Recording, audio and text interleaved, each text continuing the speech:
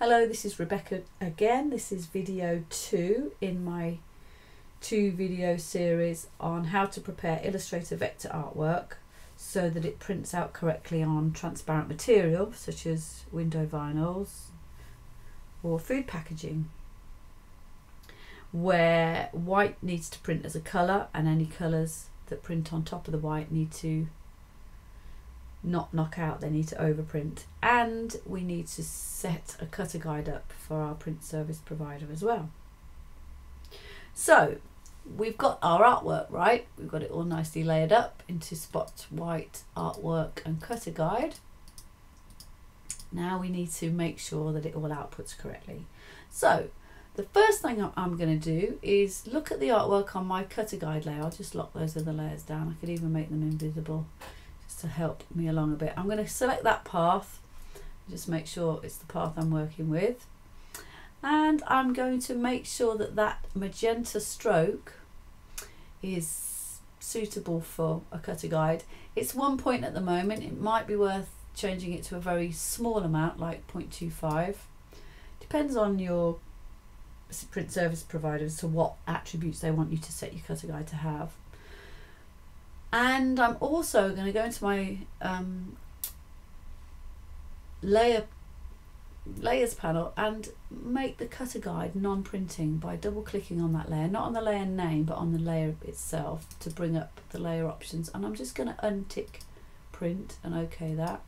Even though that's non-printing and you can see that by the italic name of that layer.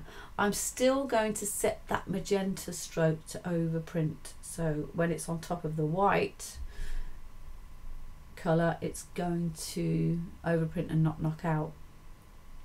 And to do that we need to access from the window panel the attributes panel. It's a bit obscure this. And you can see because I've got an object selected that's just got a stroke to it I've got the option to turn on that stroke so it overprints anything that sits underneath it. So that's now going to overprint that white that's sitting beneath it. So that's one step sorted. The next step is to ensure that all the artwork that's coloured is going to overprint and not knock out the white. So I'm just going to select stuff on the artwork layer. I'm going to try my target button. Um, it's a bit tricky to sort of check that all of that artwork is is what I want selected but I think I should be alright in just using that attributes panel to check overprint fill on that.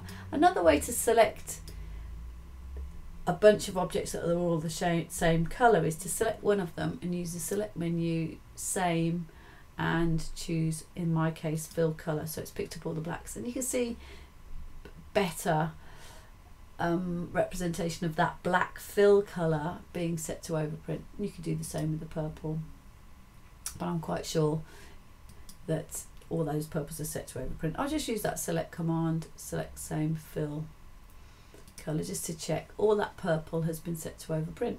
And that's as much as we need to do really. Um, if we've already set our white to be a spot colour. So if you're just jumping straight to the second video and you haven't seen the first video, you're just interested in setting white to overprint, you can use your layers panel if you've organised your artwork to just select all that white artwork. I'll just switch the visibility on and just select all that. I'm going to click off and click back on it just so that I'm sure. Ooh, I've got my, let's zoom in a bit.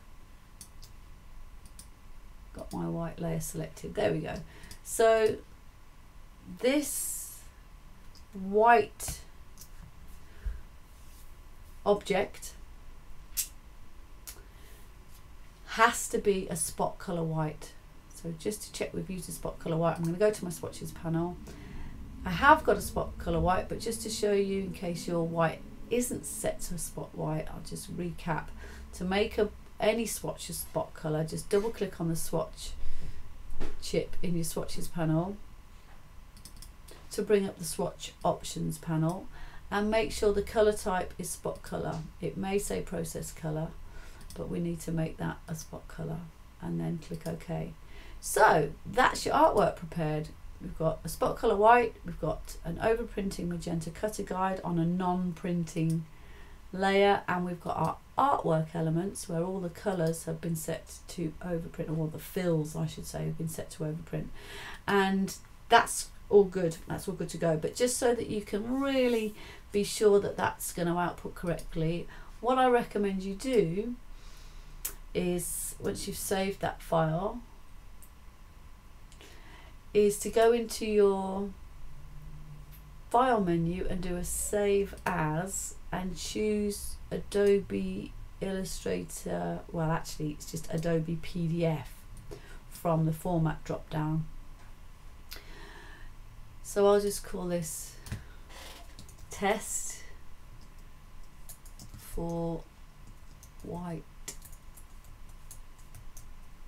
spot colour on English, so I'm spelling colour the English way. And then when I click the save button, in my Save Adobe PDF dialog box, I'm just going to preserve the Illustrator editing capabilities. I'm going to view the PDF after saving. I'm going to create Acrobat layers from top level layers. Don't need to put printer marks or anything on there because I've got my cutter guides and the output. I'm not going to do any colour conversions because I've been working in CMYK on this particular file anyway. But you need to speak to your print service provider as to whether or not they'd rather you send them CMYK artwork or if they're digitally printing it, they might be perfectly happy with you sending them RGB artwork and their RIPs do the colour conversions. So that's a conversation you, you need to have with your print service provider. Do I convert the colours or don't I? But I'm just going to click Save PDF and that should open Acrobat Pro. And in Acrobat Pro, what I recommend you do is go to the Tools panel and make sure that you can see the print production tools. I've actually put mine over in the right hand panel set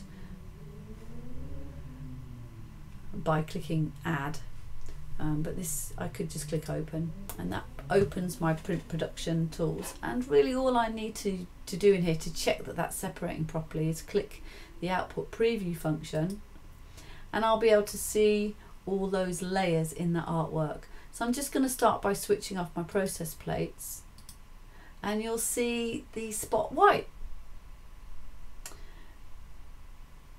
And we can switch individual colours on one at a time so let's turn my spot my process cyan on and off. When you've got two or more separations visible then the white will disappear. Um, it's just showing you what will be printed white and black here because that's the only plate that's visible. But when I add another colour in that white becomes white. So you will need to switch off all your process plates to see the spot plate white as a solid. And it's definitely worth zooming in just to check that that cutter guide has been set to overprint. Otherwise you'll see little white lines where that is. Yeah and you can really just delve into the artwork a bit and see what colours of ink are used on each layer and if there's any spot colours in there. So it's a really useful tool for checking your artwork. I'm happy that that's all good and correct and I can even leave the magenta plate on.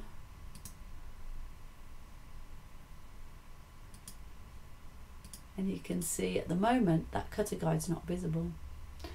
Looking over at the left hand side you may see a layers button. If it's not there you can right click on this area and actually um, make it visible. I'll just put that to the de default. Looks like it's visible by default. Anyway, it usually shows up if you've created a PDF that has used layer visibility in Illustrator. So by clicking that button, you can see that my cutter guide is in the artwork. It's just not set to be visible. We can check it's there by looking at the visibility of that layer. So there's my cutter guide on my magenta plate, but it's not affecting my spot color white.